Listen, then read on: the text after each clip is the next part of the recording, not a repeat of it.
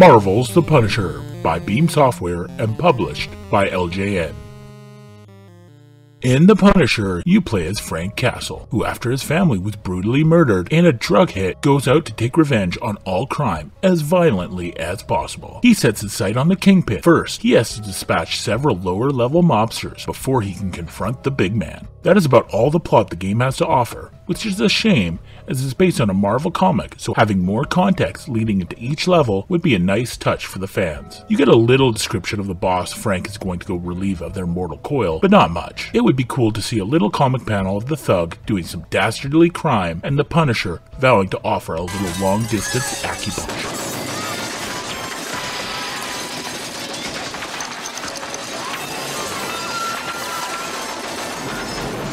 The game begins with a level select screen as you pick the boss you wish to go up against.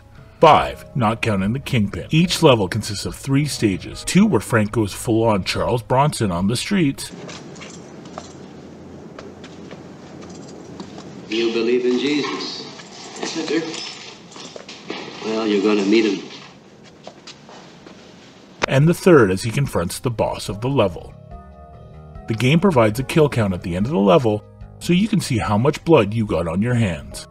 Nobody except the sax man is innocent, so fire away. Depending on your percentage of kills, you are awarded with extra health, ammo, extra life, or even a super gun, so it pays to kill them all and let God sort them out. Gameplay is a mixed bag. The shooting gallery gameplay can be fun for short play sessions, but as the Punisher can only move, and even then slowly when not firing his gun, it can make dodging enemy fire difficult.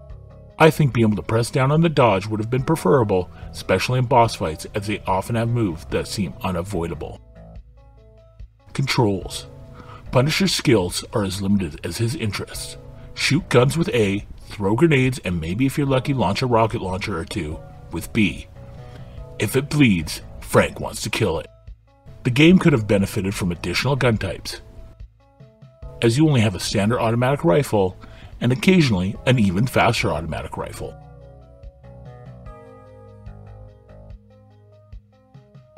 Throughout the level, you're encouraged to shoot everything you can to reveal power ups or sometimes bonus stages.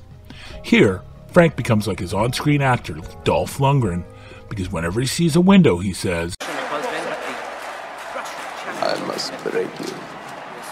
It would have added a nice strategy element to the game to avoid innocent characters, but as it is, the streets are populated, with one exception, with criminals only. Don't wait for them to pull the trigger, shoot them where they stand. The exception is the sax man, who must be deaf, blind, and lost his sense of smell, because he plays in the middle of war zones and even the sewer.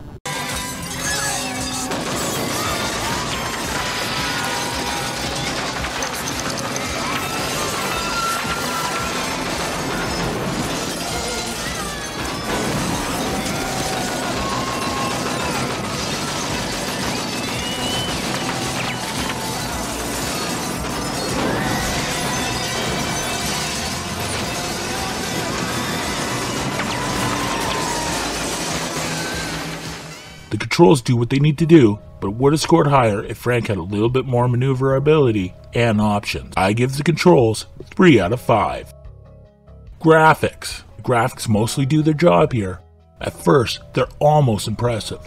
The character animation isn't bad, and while everything is dark and gritty, it's an appropriate dark and gritty, like you walked into the set of The Taxi Driver. Talking to me? That said, you'll soon eat those words, as level design gets reused fast. After playing through one darkened street, subway, sewer, and dock, you'll see them all again really quick. It would have been nice if each level had its own unique design, even if that meant less levels and bosses. Frank's sprite is big and detailed, as are the bosses, with some boss fights seeming reminiscent of Nintendo's Punch Out. The enemy sprites are okay, but like the levels, they get overused quickly. But their death animations give the game a satisfying feel. I give the graphics a 2.5 out of 5. Sound. The gunfire from Frank's machine gun sounds great. It feels good to let loose a full auto blast of lead to these dirtbags' faces. But that's it. Everything else in this category is hot garbage. No music plays in the game, with the exception of that sax man and his 20 second song, and during boss fights or the menu. The game is largely silent and enemy gunfire doesn't match the intensity of Frank's. I give the sound a 1.5 out of 5. Gameplay. There's a shell of a good game here, and with some polish, it could have been a contender. But as it is, it seems to have a death wish. Had more time been spent on level design, tightening up the controls, and maybe adding a second player mode, it could have been a hit, which is a shame because the source material lends itself perfectly to video games. I give the gameplay a 2.5 out of 5. It's a worthy weekend rental, however, perhaps paired with a Death Wish or Dirty Harry marathon. Go ahead. Make my day. Otherwise, get it cheap, if you get it at all.